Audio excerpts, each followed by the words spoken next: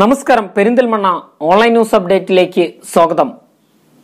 തമിഴ്നാട്ടിൽ നിന്നും മതിയായ രേഖകളില്ലാതെ കേരളത്തിലേക്ക് കടത്തിയ സോഫ്റ്റ് ഡ്രിങ്കുമായി എത്തിയ ചരക്ക് lorry Perinthalmanna G S T intelligence വിഭാഗം ഉദ്യോഗസ്ഥർ പിടികൂടി.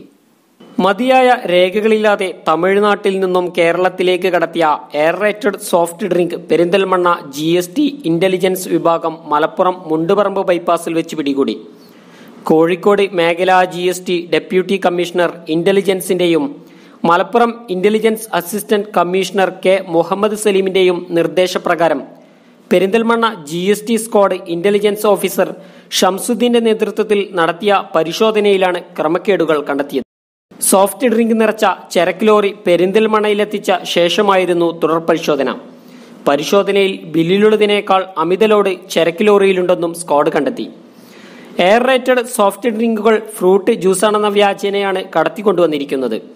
സോഫ്റ്റ് ഡ്രിങ്കുകൾക്ക് ഇരുപത്തിയെട്ട് ശതമാനം ടാക്സും പന്ത്രണ്ട് ശതമാനം സെസ്സുമാണ് നൽകേണ്ടത്.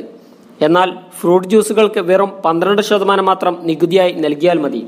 ഇത് മറയാക്കിയാണ് തട്ടിപ്പ് നടന്നിരിക്കുന്നത്. അന്തർ സംസ്ഥാന നികുതിയും പിഴയുമടക്കം മൂന്ന് ലക്ഷത്തി മുപ്പത്തിയേഴായിരം രൂപ പിഴയായി ഈടാക്കി.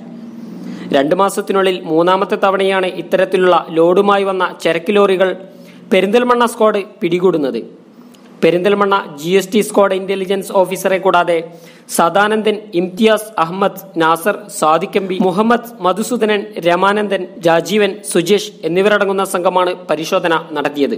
പുതിയ നിർദ്ദേശപ്രകാരം ഇരുപത്തിനാല് മണിക്കൂറും സദാസമയവും ജി വിഭാഗം വാഹന പരിശോധനയിൽ നിരത്തിലുണ്ടാകുമെന്നും ജി എസ് ടി ഇൻവോയ്സ് ഇല്ലാതെ കച്ചവടം നടത്തുന്ന സ്ഥാപനങ്ങൾക്കെതിരെ ടെസ്റ്റ് പർച്ചേസ് ഉൾപ്പെടെയുള്ള നടപടികൾ സ്വീകരിക്കുമെന്നും ഇന്റലിജൻസ് വിഭാഗം അറിയിച്ചു.